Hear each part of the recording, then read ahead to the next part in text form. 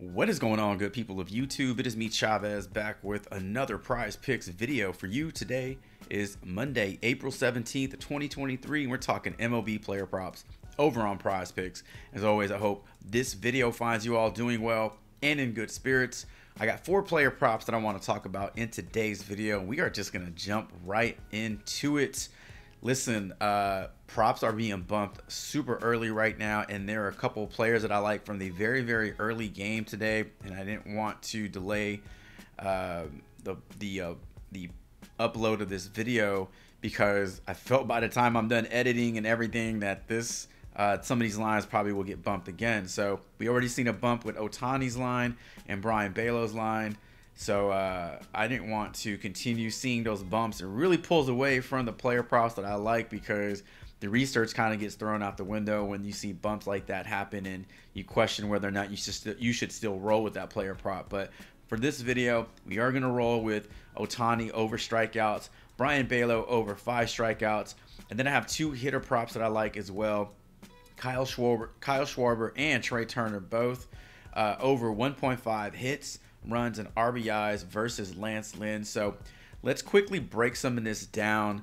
And I don't want to just leave you hanging with some uh, very surface level analysis. So let's head on over to props.cash and talk about Ohtani's strikeout prop along with Bello's strikeout prop. All right, so originally Ohtani's strikeout prop was at six and a half and got bumped up to seven, but there's still something to be, uh, there's still something to like here because you're still getting minus 103 odds to go over seven strikeouts. Now, his history versus Boston, last two games, he's averaging eight and a half strikeouts. First game versus them last season, 11, and then the second game, he had six, which is still really good. For, unfortunately, that's not going to get it done. He went seven innings in that game where he only gave you six. So we're hoping for a little bit of a better showing today from Ohtani. Now, over his last five games, you can see that he's averaging eight in those five games. Two of those games, he went well over seven, six and a half. And the other one, he cleared it with eight. Hooked you, um, well, not even a hook. Uh, fell short by two strikeouts and going over that prop in these two games here. But overall, a lot to like for Ohtani, who's averaging one and a half, over one and a half strikeouts per inning, and um, a Boston team that is, you know, a bit improved in terms of their um, their whiff rate versus right-handed pitching. But this is Shohei Ohtani. I think he goes out there and gets us at least seven strikeouts. Hopefully, he doesn't get pulled before the damn fifth inning, and he uh, and he gives uh and he gives us that prop and gives us the over on that prop, I should say. So let's quickly talk about his counterpart, Brayan Bello. So making his first start of the season last year, had some pretty mixed results. You can see over his last five, those strikeouts really, really started to decline as the year went on. And over his last 10, we can see that he got off to a slow start here, ramped it up, and then again with the drop off. So his first start in those 10 games looked a little bad. And then overall, last season, his very, very first start of the year came against Tampa, where he only accounted for two strikeouts. And in that game, he pitched four innings. You can see that the Red Sox were kind of uh, bringing him along a little slower, and then his innings ramped up. Never pitched more than six innings. I think it's possible that we don't see more than five innings out of him today.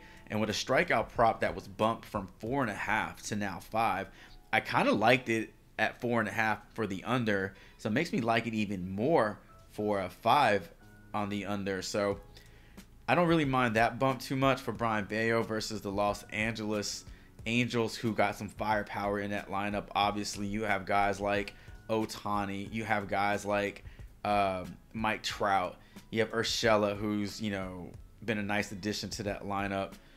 Yeah, I just think you have some guys in there that can uh, that can hit this kid around. So I'm looking for him to go under five strikeouts today versus the Angels. And then my two hitter props, like I mentioned, two Philadelphia Phillies versus Lance Lynn. I like the over on both of these hits, runs, and RBIs props for Schwarber and Turner.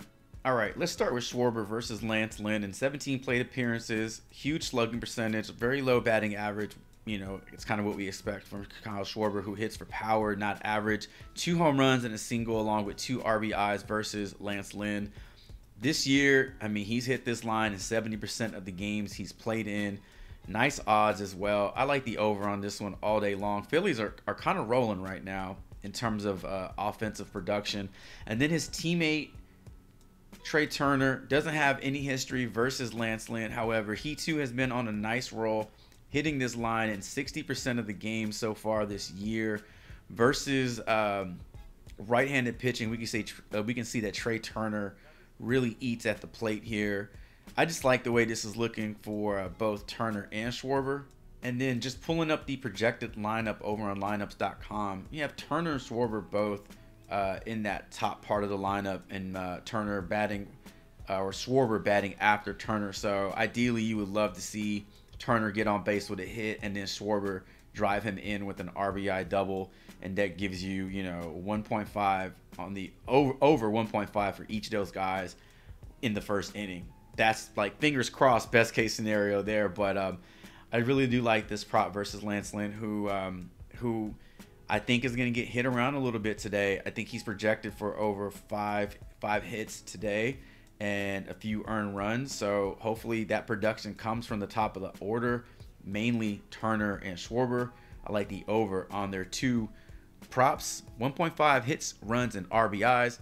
And for our fifth pick of the day, I guess this is our fifth pick of the day. We're going Kyle Schwarber to be our four bagger swagger call of the day. We already saw his stats versus Lance Lynn. Hits for power, hits for slugging percentage, not average.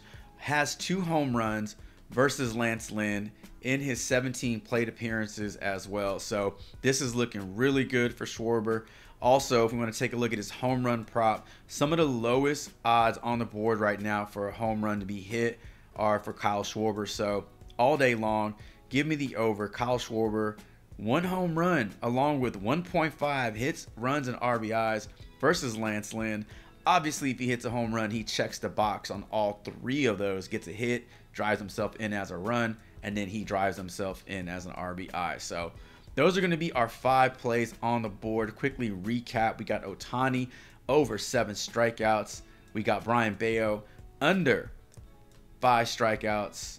And then we got Kyle Schwarber and Trea Turner both over 1.5 hits, runs, and RBIs. Looking for them to get after Lance Lynn a little bit today. And that's going to do it, ladies, ladies and gentlemen. Thank you all so much for stopping by the channel, checking this video out. Drop a comment below letting me know who you like on the player prop board. Also, what do you think about these four player props we talked about in today's video? And as always, thank you all so much for the continued support, the likes, the subs, and all of the uh, comments. It truly means a ton to me as it just helps this channel get a bit bigger every single day. Best of luck to you all today and tonight. And until tomorrow's MLB player props video, Chavez is